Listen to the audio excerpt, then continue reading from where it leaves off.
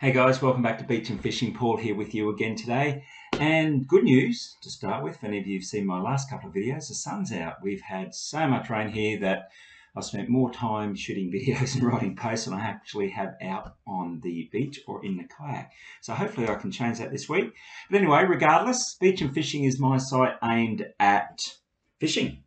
What I like about fishing, what I like to use, what I don't like to use, how it works, um, interactive as much as possible because as I always mention all of my posts, the thing I love about it is that everybody has a different idea and a different opinion. I this is how my life is. I went to a friend's place for a couple of drinks yesterday afternoon and three of us spent, I reckon, 20 minutes discussing the pros and cons of different knots to tie braid to mono, which I will show you in another post because we always do things differently and they all work. So all good. Anyway, as I'm recording this video, it's coming into winter here, which means we do a lot more night fishing, mainly for the fact that the species we chase over winter only come through in winter. Uh, jewfish, tailor, some salmon, uh, sometimes get some tuna off the beach, and lots of other little more the bottom dwelling fish come through in winter, mainly for the fact that the weather's warmer the water, sorry, is warmer near the coast. So they come in close. They're there all year round, obviously, but they come in closer to the coast when the weather is when the weather is colder and the water is warmer, closer to the surface, closer to the edge, and also at night they venture in even closer to the to the beach, which is why a lot of people like to fish at night. The fish will go into shallower water because they feel safer. They will feed in the shallow water chasing the smaller bait fish, which is where if you're using a lure or some live bait fish or even some pilchards or something like that, you can get some more fish. And yeah, just seems to be the way to go. Other people only ever go in the daytime, but when we're chasing certain species, we like to go at night on a full moon and we tend to do a lot better then. So as we run through, this is what I like to do, and this is what over time I have got myself ready to do when it comes to night fishing. The first thing I always do is go and scope out the beach during the day. Um, in other posts, and I've got a picture in my in this post, I'll show you what I mean about a gutter. During the day, uh, you look for a shore, then there's a dark line there, and then a sandbank there. That is a gutter. And in the daytime, we tend to fish in those. Or we can fish around rocks, or we can do this, that, and otherwise. At night, obviously it's harder to see those structures and it's harder to see where the gutters or the holes or anything like that is. So we tend to then go by guess or go by the knowledge of what we have on the beach. So we scope out the beach in a day, we look for where the gutters are, we look for, for where the reefs and the rocks are. There are some rocks where we on our local beach. We avoid them at night, and mainly because you can't see them and just get so many snags. So we know where the gutters are, but we also look for areas where there's a big, longer shore break without a gutter, so a longer sandbar maybe on the on the edge. That's because the smaller fish, the bigger fish will come into those areas at night. And if we can stay out of the big surf at night, because big surf you just can't always see where your lines ends up. I mean, there's nothing worse than casting out and then you got to go to retrieve your, your line and realise that you've been on the beach for the last 20 minutes anyway because it's just gone from the surf straight in. So we tend to avoid bigger surf. So we'll look for those sort of things as well. So if you check out the beach during the day, it's going to give you a good idea on the areas you can fish at at night. You've got some more options at night you don't have during the day, but you also want to make sure that you're avoiding rocks and, and stuff like that. Second option, um, I mentioned this, I wrote about this very recently. Excuse me. Take a headlamp. In winter, I take a beanie headlamp. This has gone flat, I think. I haven't charged it since, but this is a beanie with a lamp on the front there, um, which is good in winter. I also have a hat clip one, which clips onto the edge of a hat, and I haven't got it here because I actually was going to use it on the weekend, but it started raining again. So there you go. Um, but it clips onto the peak of a, of a cap which I use at night as well. Fishing is a two-handed option and go back and have a look at my post on the best headlamps for fishing. I explain a lot more in there, but fishing is a two-handed option whether you're baiting a hook, whether you're changing a lure, whether you're doing this, that, or otherwise, you will want two hands. Headlamp gives you those two hands, gives you the light. There's other advantages to it too for safety, which we'll talk about in a second, where they have red lights. And lights actually attract some fish. So some headlamps have little green lights or little blue lights on them, and they're actually supposedly will attract fish closer to the where the light is.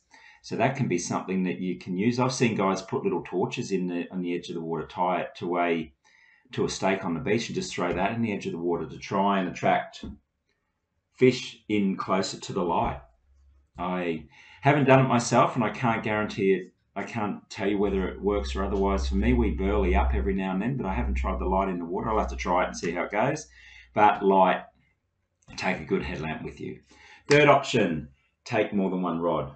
In the daytime, I have one rod which I take down and I throw in the water and I either cast, flick around with a lure or I drop it in the gutter. It's an 11 foot rod, but it's nice and light and it can handle long casting with heavy lures or it can handle short bait. And it's a, it's a really, really good one actually. I'll do another post that because I haven't had it long, but it's quite a good one. At night, I tend to take a couple of rods. I have one of them here. This one is, I've shown this a few times. This is a big, heavy rod. It's a 13 foot.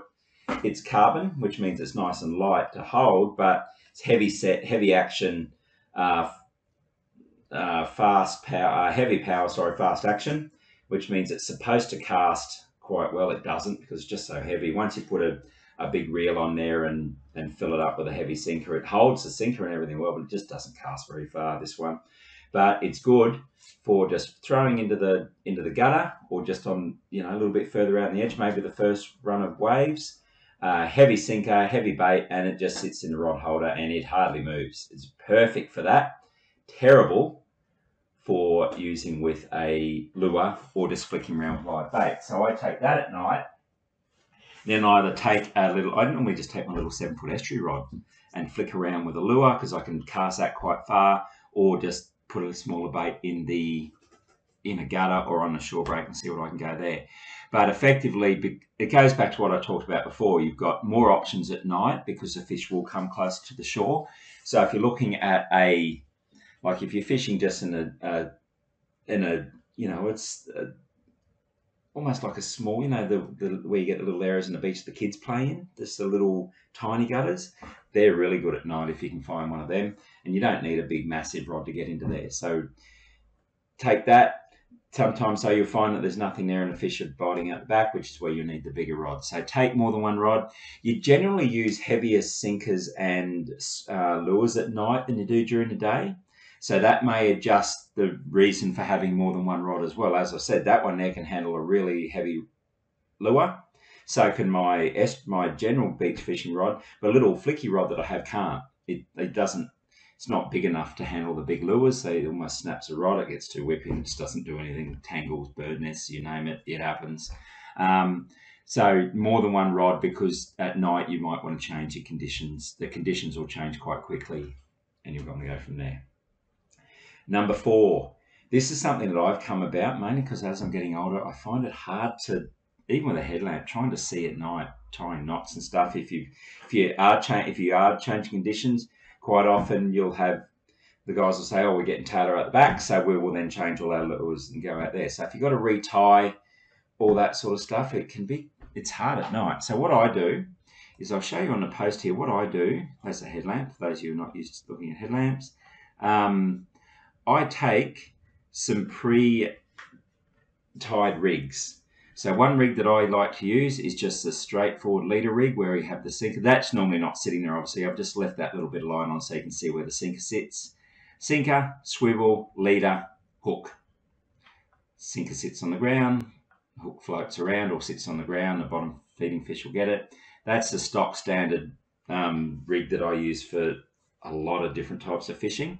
However, if I've got a nice big sinker, big swivel, and big hook on there, um, get a lot of stingrays because stingrays scoop along the bottom where we fish as well. So I then change my rig to be that's a triple sinker, a hook, and that there I've just put a star sink, a triple swivel, sorry, and then I just put the star sinker on the bottom there just to show you how it sits. That's actually a loop that I tie on the end of the line.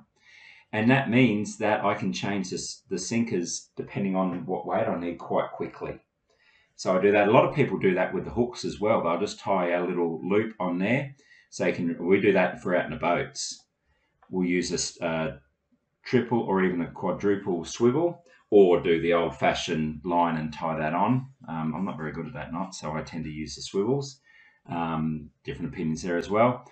But if you put that loop on, you can actually swap that hook on and off quite easily as well if you want bigger hooks or smaller hooks um, and change swivels. But I, I'll take three or four of them and I'll take three or four of them. These I normally have a slightly different size swivel.